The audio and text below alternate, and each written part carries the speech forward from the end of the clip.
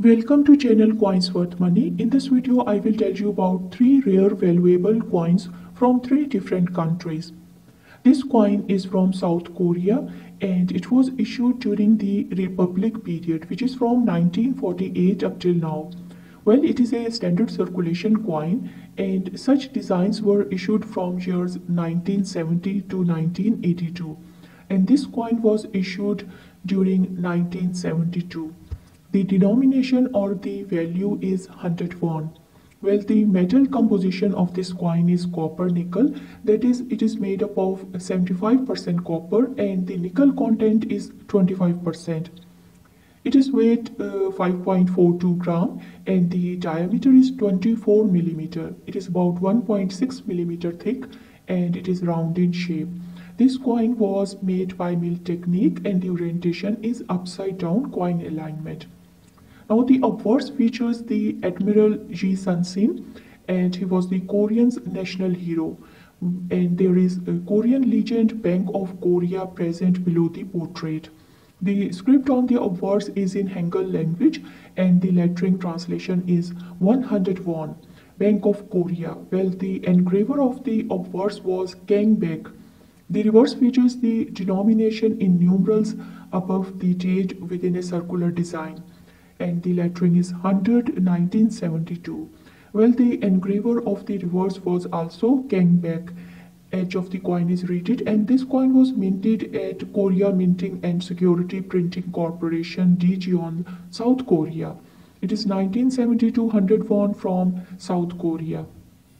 Well, Ji Sun-sin was Korean admiral and military general famed for his victories against the Japanese Navy during the Imjin War in the Joseon period. He was born on April 28, 1545 and died on December 16, 1598 at the age of 53. Ji is regarded as one of the greatest naval commanders in history, with commentators praising his strategic vision, intelligence, innovation and personality. He is one of the most renowned historical figures in Korea, with multiple landmarks, awards, and towns named after him, as well as numerous films and documentaries centered on his exploit. His seven year personal records of the war, collectively known as the Nanjung Ilgi, are listed as a part of UNESCO Memory of the World initiative.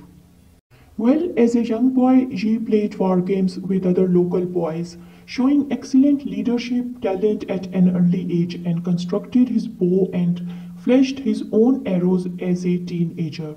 Well, this coin is from South Korea and it is 101 1972 coin and it is very rare and valuable coin.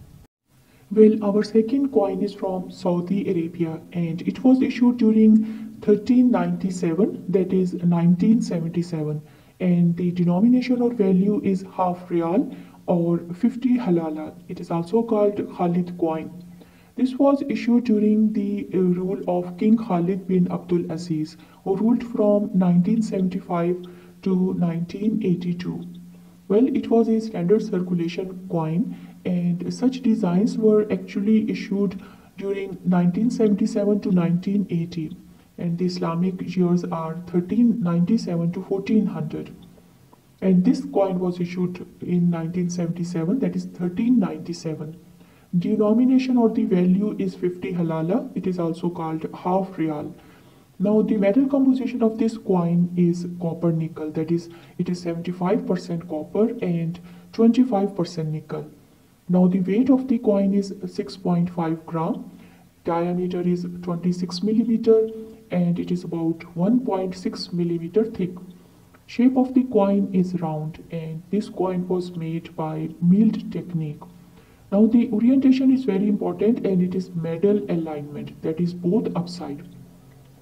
Now the obverse features crossed swords and a palm tree and these are present in the center. And these are flanked by dates and legend above and below.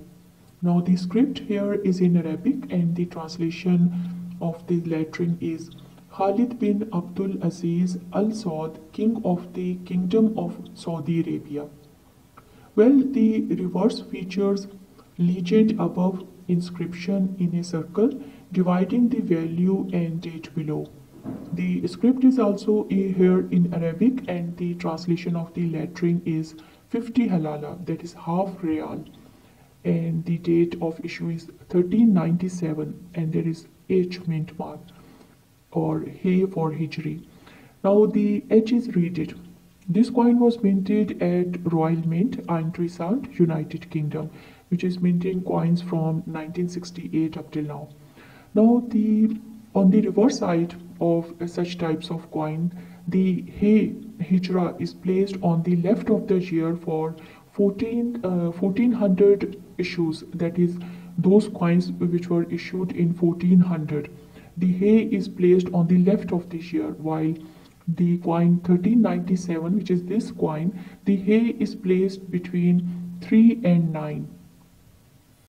Well, King Khalid was appointed as the Deputy Prime Minister of Saudi Arabia in 1962 and after Khalid's full brother Prince Muhammad stepped aside from the royal succession, King Faisal named Khalid as Crown Prince in 1965. Well, this coin is a rare and valuable coin from Saudi Arabia, 1397 50 halala or half royal Khalid coin. Well, third coin is from Russia and it is 2 rubles with curved Russian inscription under the eagle. It is a non-magnetic coin and was issued during the Russian Federation period 1991 to date. Well, it is a standard circulation coin and the year of issue is 2006. However, such designs were issued from years 2002 to 2009. The denomination or the value is 2 rubles. The metal composition is nickel brass and the weight is 5.1 gram. Diameter is 23 millimeter and it is 1.8 millimeter thick. It is round in shape and was made by milled technique. Orientation is medal alignment both upside. Obverse features in the center the emblem of the bank of russia which is the two-headed eagle with wings down there is also denomination, the year of issue, and the mint trademark. Well, the script is in Cyrillic and the translation of the lettering is 2 rubles Bank of Russia MMT. Well, the engraver and the designer of the obverse was Alexander Vasilievich Baklanov. Now the reverse feature the value and flowers and the script is Cyrillic. The translation is 2 rubles. Engraver and designer of the reverse was also Alexander Vasilievich Baklanov. Well, the H is a segmented reading. Now, the mints of this coin was the Moscow Mint, Russia, and the uh, other type of coins were also minted at St. Petersburg, Leningrad, Petrograd, and Russia. Well, coin collecting is also known as numismatics.